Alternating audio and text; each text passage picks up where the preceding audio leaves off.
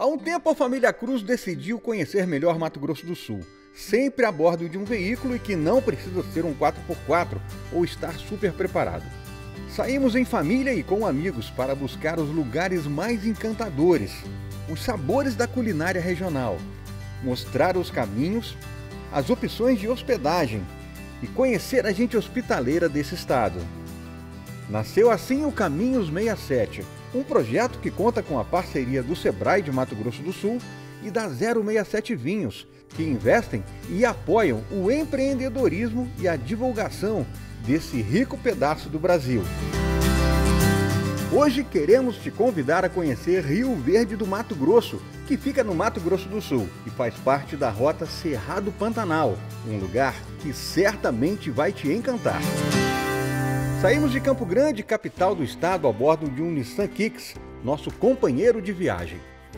O SUV mostrou competência ao levar a família com o porta-malas lotado pela BR-163, estrada que pede muita atenção do motorista por conta do movimento de carretas. Pela estrada seguimos até Rio Verde, chegando já à noite. Nossa hospedagem foi no Hotel Serra Verde, que fica às margens da rodovia um bom lugar para ficar tranquilo com a sua família. Nosso primeiro dia em Rio Verde do Mato Grosso amanheceu e fomos surpreendidos no café da manhã do hotel com o famoso quebra-torto. Para quem não conhece, é um arroz carreteiro com ovo frito, costume típico pantaneiro. Bem abastecidos, seguimos para nosso primeiro destino do dia, Fábrica de Chapéus Carandá, que faz sucesso para quem precisa se proteger do sol na lida pantaneira e também para quem quer um visual diferente. Quem nos recebe é a jovem Isadora, a terceira geração à frente da empresa. Que no começo meus avós só revendiam. Aí meu pai começou a produzir o chapéu e agora eu estou entrando também, eu e meu irmão. Eu fico em Rio Verde, cuidando aqui da, indústria e meu irmão está em Jaciara, que está começando a ganhar forma a nossa indústria lá. Agora, Isadora, essa marca já virou um patrimônio já. do Mato Grossense pantaneiro, né? Isso mesmo. É, um, é, muito comum a gente ver esse chapéu na cabeça de muita gente, né? É verdade, o carandá já... Dominou, né? Dominou. E eu acho assim, Isadora, eu, eu, o chapéu, quando a gente pensa no pantaneiro, ele nasceu por uma, é uma ferramenta, né? É, hoje, se a gente vê aqui na tua loja, não é só para quem quer trabalhar, virou moda, né? Não, nós temos chapéus pro trabalho, para praia, para sair, então temos vários modelos aí para atender tudo, todas as... Quem quiser, né? É, exatamente. Legal. Então, gente, ó, o que, que a gente vai fazer agora? A Isadora nos convidou para conhecer um pouco da fábrica. Esse é um ponto turístico aqui de Rio Verde, então quando você estiver visitando a cidade, além dos atrativos que a gente vai mostrar, sair daqui sem o chapéu carandá não dá, viu, gente? Não. Tem que, tem que sair daqui com o chapéu. Vamos conhecer a fábrica? Vamos sim. Vamos lá.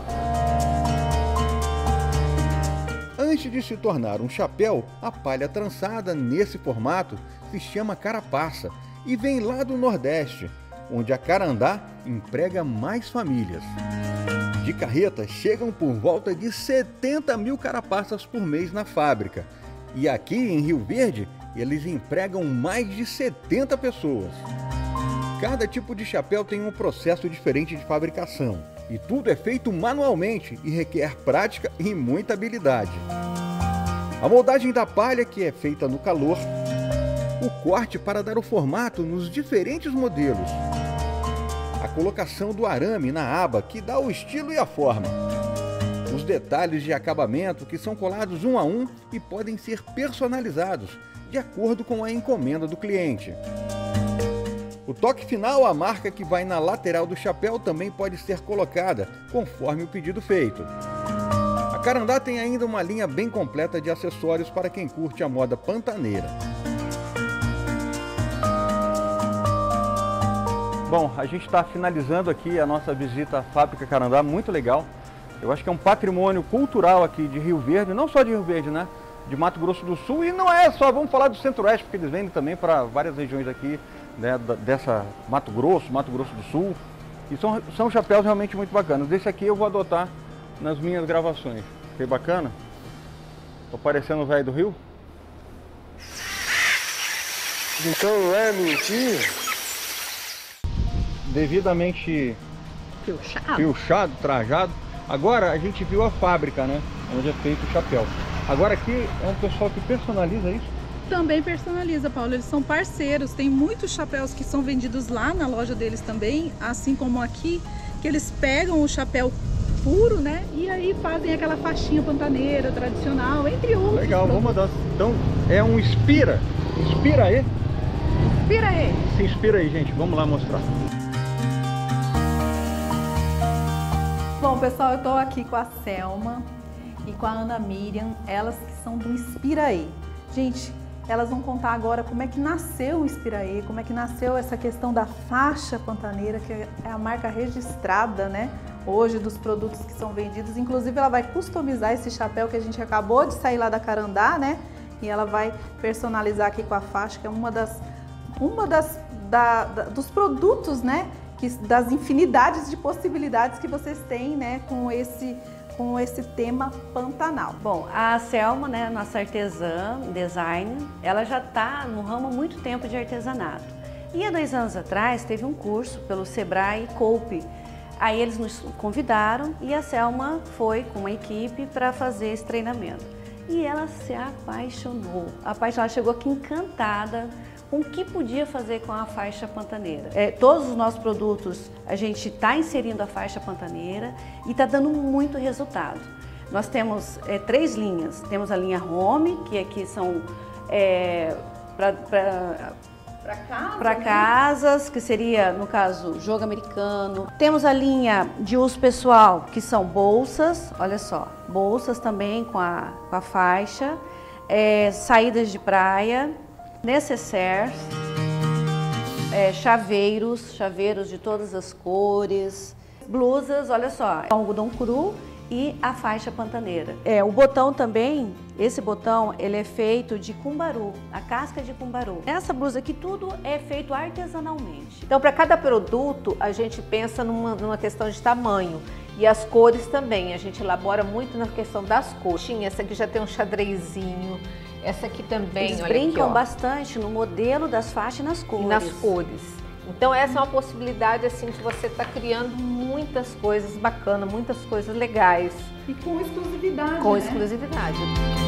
Achei bacana também essa associação que vocês estão fazendo com outro produto local, que é o chapéu carandá, né? De fazer essa faixa da super em alto, o produto pantaneiro, parece que o Brasil descobriu agora, né? Ter algo assim que realmente a gente, como sendo da terra, né? A gente se sente assim valorizado na nossa cultura, né?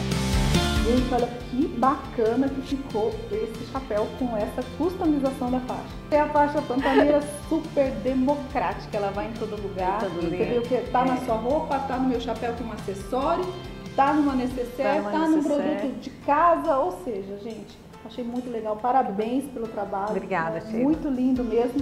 E você que está nos assistindo, né? Tá visitando, tá passeando, tá passando por Rio Verde, vem conhecer Espiraê.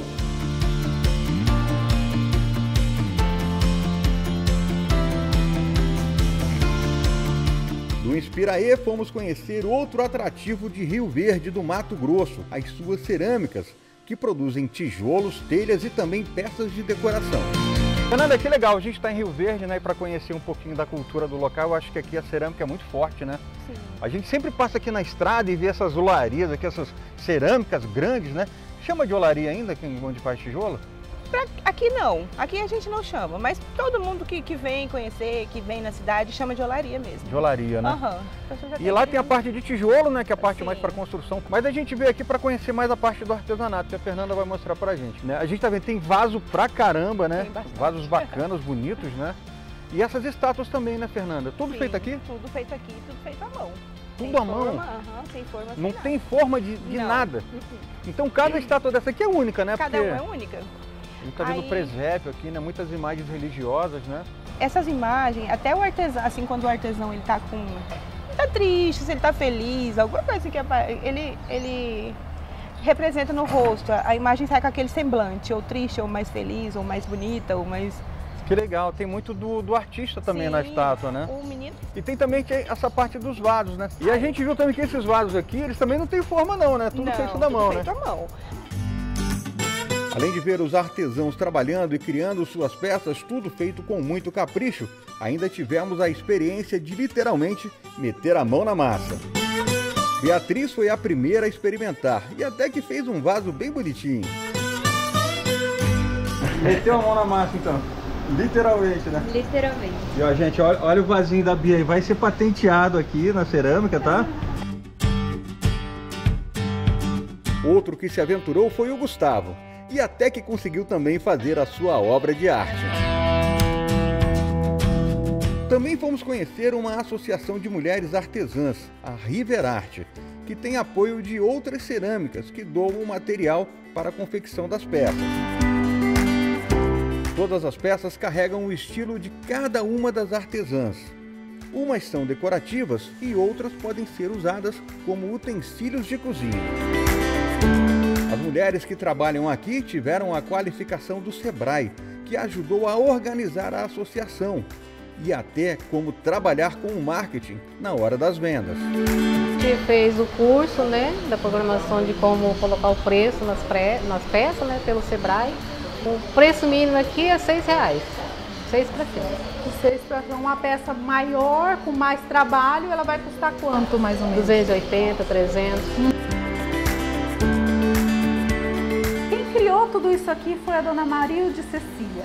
Ela que foi a primeira idealizadora desse projeto, que hoje virou uma grande associação. É, começou quando o Sebrae trouxe o curso aqui, né, de modelagem argila curso isso em 2002. Aí foi criado a Riverarte, tinha mais ou menos umas quatro pessoas que abriu.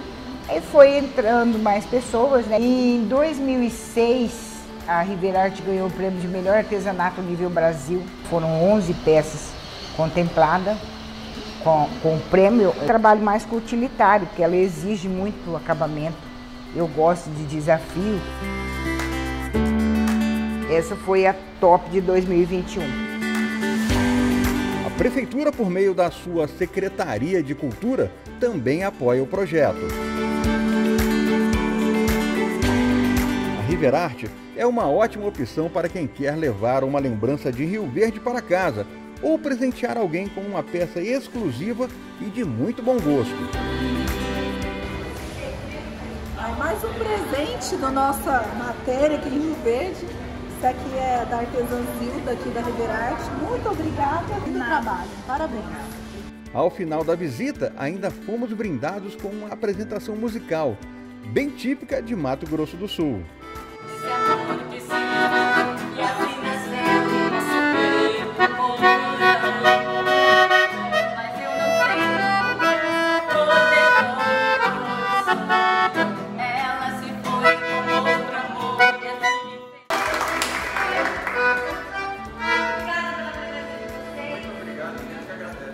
A Igreja Matriz Nossa Senhora Auxiliadora também é um local que merece ser visitado pelos turistas. O lugar é repleto de obras do artista Henrique Aragão, com muitas referências à cultura pantaneira. Desde as esculturas externas até as pinturas internas e vitrais, tudo remete ao povo pantaneiro e sua rica fauna e flora.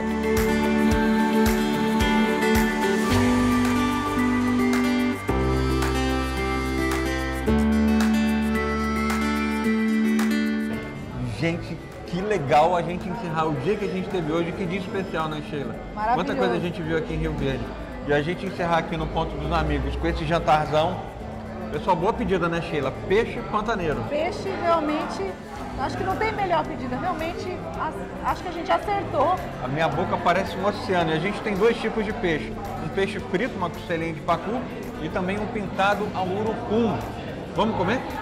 Vamos lá, vamos Bora. saborear. Aí ah, tá aqui a Bia e o Gustavo que estão filmando, doido para atacar também, né? Pode encerrar a gravação e vamos comer.